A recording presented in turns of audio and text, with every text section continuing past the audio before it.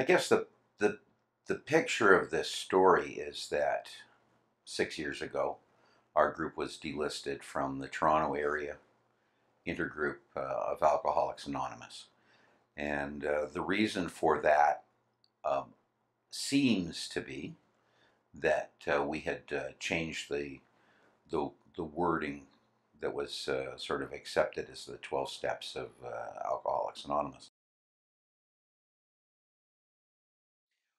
Well, right now, what's coming up is uh, is a mediation. It's the second of two days that we've had put aside, and we're hoping to resolve our court differences or our legal differences um, without having a, a trial, um, which would be preferred, I think, because trials are expensive, and um, and try to get some kind of resolution so that everybody can move forward uh, appropriately.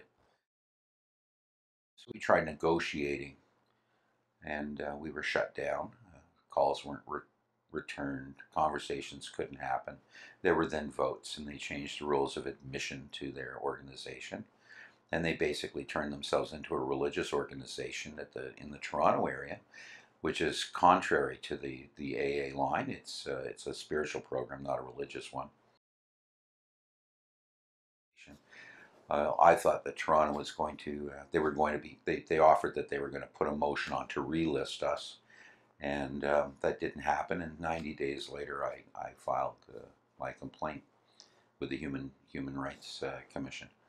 Um, and that's what happened because it's really not acceptable to, uh, to exclude people on the basis of religion, especially if you're not a religious organization.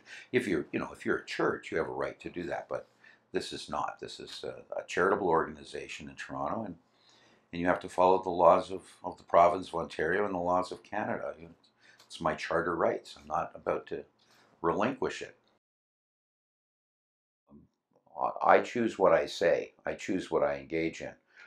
But if you put up uh, conditions and you present yourself in a certain way, you're certainly encouraging self discrimination or self removal from the process. So, you know, if a Muslim comes into an AA meeting in downtown Toronto and the meeting talks about all this God stuff, that's all fine and dandy, but then closes the meeting with the Lord's Prayer, we have a problem.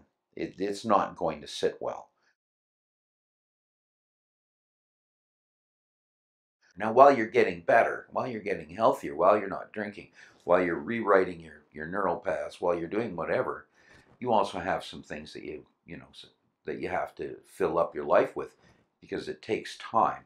And the 12 steps is not an unhealthy way of, of taking up your time while you're sort of hyper focused on getting better. And uh, now are all of the things that are in the 12 steps um, useful or helpful or do they have to be done in a certain order?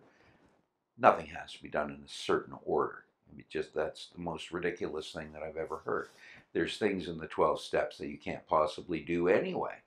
We say we can do them, but you can't. You can't turn your will in your life over to anything other than yourself. It's not possible. It, it's that's that's an absolutely ridiculous statement that, that you can do that because it can't be done. Larry was uh, had some good news recently. A mediated settlement after he and some others were able to bring forward a complaint to the Ontario Human Rights Tribunal about Alcoholics Anonymous not being inclusive enough.